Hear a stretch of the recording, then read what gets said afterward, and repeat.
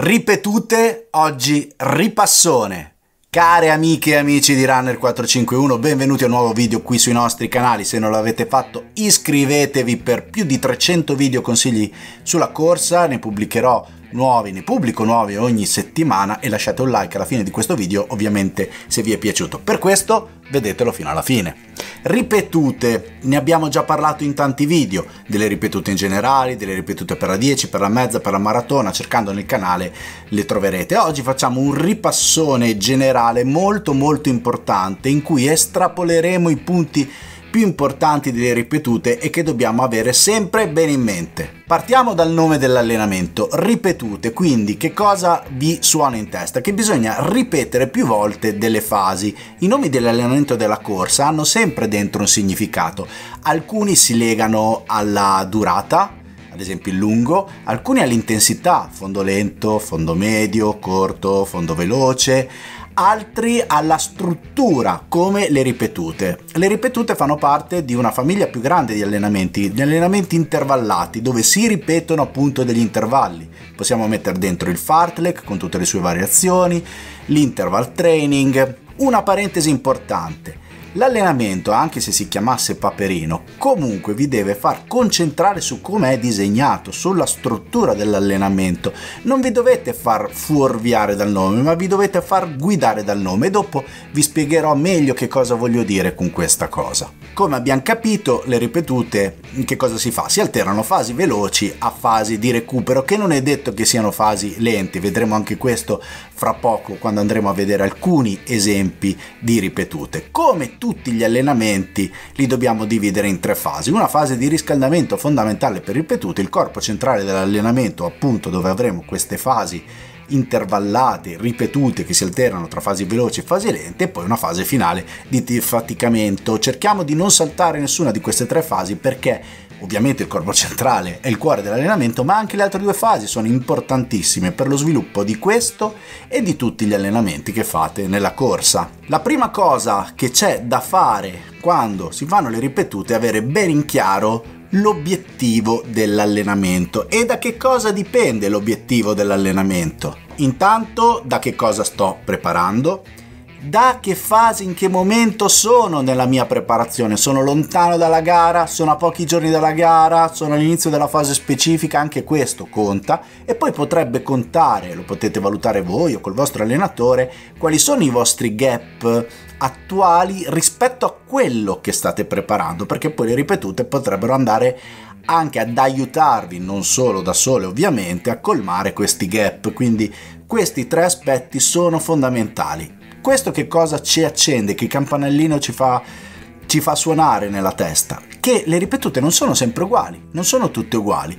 Uno, un errore che succede spesso nell'esecuzione delle ripetute è che il runner legge ripetute e fa l'equazione devo correre alla morte. Non è sempre così, come vedremo anche questo a breve. L'importante è avere ben chiaro l'obiettivo della seduta, da lì si disegnerà la seduta di ripetute che avrà tantissime variabili. Le due fasi determinanti del disegno della ripetuta sono la fase veloce e la fase di recupero. Ovviamente la velocità dipenderà dalla distanza o dalla durata, perché potremmo avere ripetute basate sui chilometri o in centinaia di metri o sul tempo.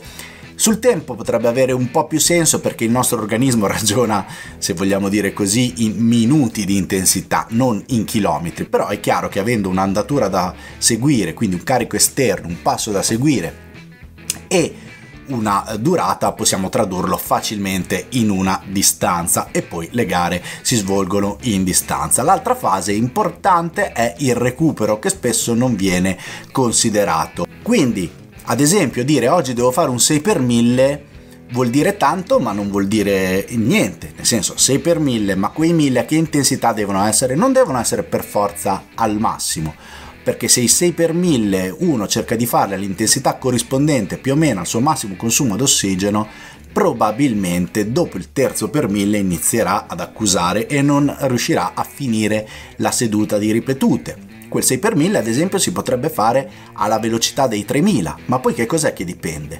Dalla durata e dall'intensità del recupero. Vediamo i recuperi quindi nelle ripetute. I recuperi possono essere da fermi, possono essere camminati barra in jogging su plus, chiamato come volete, ma una corsetta proprio leggera di recupero, corsa lenta, ma possono essere anche a corsa medio a velocità elevate, ovviamente un po' più lente della fase veloce, questo è chiaro.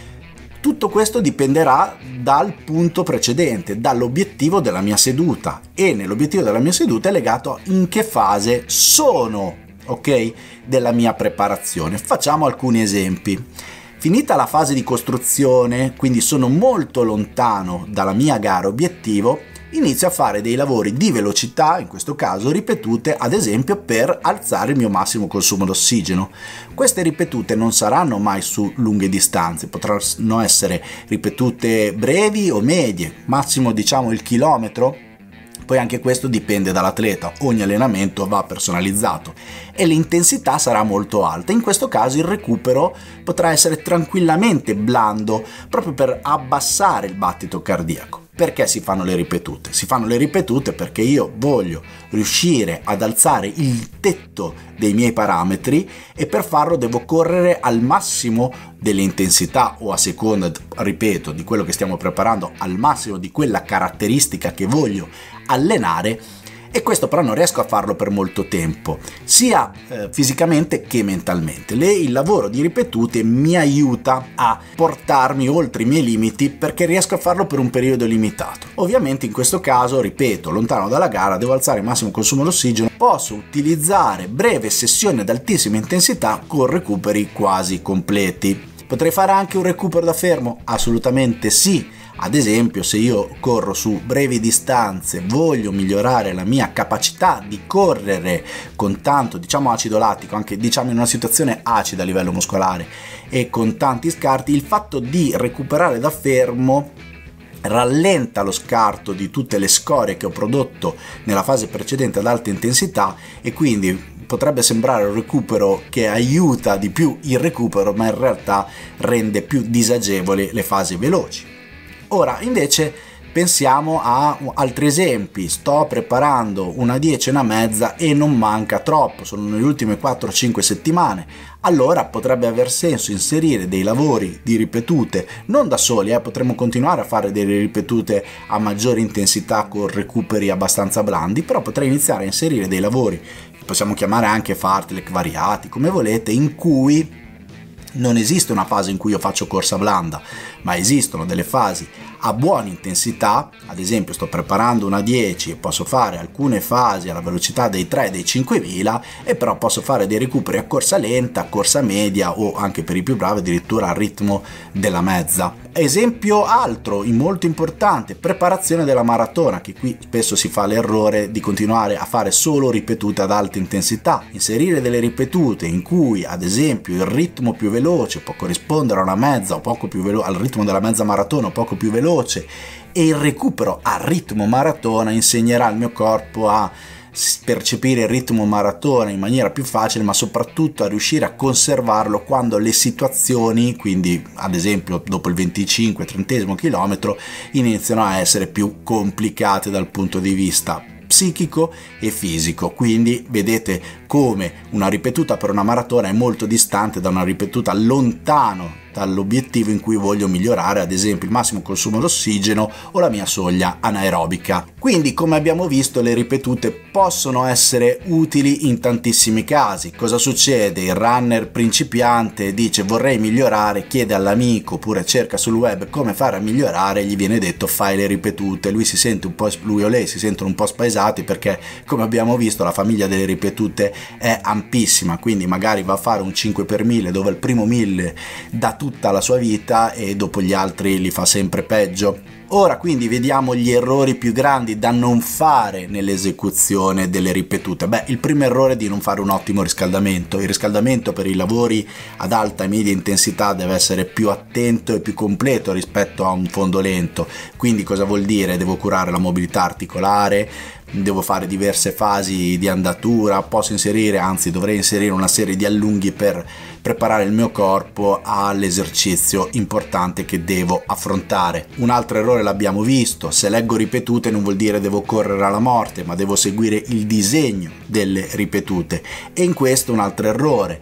Se io ho 8 ripetute lasciamo stare distanza e intensità, ma la prima e l'ultima e ovviamente tutte quelle di mezzo devono avvenire abbastanza simili, non dico identiche, ma abbastanza simili. Non devo avere un calo delle prestazioni, non devo avere anche una crescita esagerata alla fine perché vuol dire che all'inizio sono stato troppo conservativo, anche se se ho dei dubbi sull'intensità da tenere ci può stare che il primo e il secondo esercizio di ripetute io lo mantenga un po' più cauto, un po' più prudente proprio per saggiare sia se quella è la mia vera intensità da seguire, sia soprattutto se è la giornata giusta per farle al meglio.